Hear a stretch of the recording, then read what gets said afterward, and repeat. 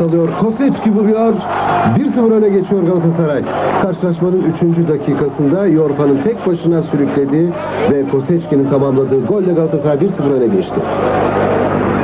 Yine Galatasaray'da Kosecki. Yorfa çok akılcı bir pas. Okan tamamlıyor. Dakika 25. 2-0 önde Galatasaray. İşte yine Yorfa'nın pasında. Okan'ın golünde Galatasaray'ın ikinci golü.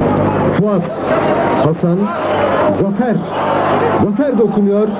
Dakika 27. İlki Bakırköy Spor 1. İkinci yarıdan görüntüler. Yorfa, Şevket,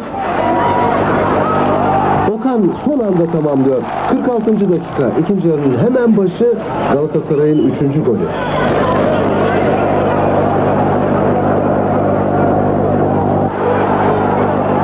Karşılaşmada 60. dakikada Kosicki Uğur'un pasında dördüncü golü kaydediyor. Dakika